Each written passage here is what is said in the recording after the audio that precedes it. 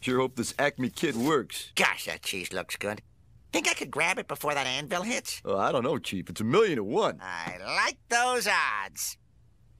Ah, my mistake was grabbing the cheese.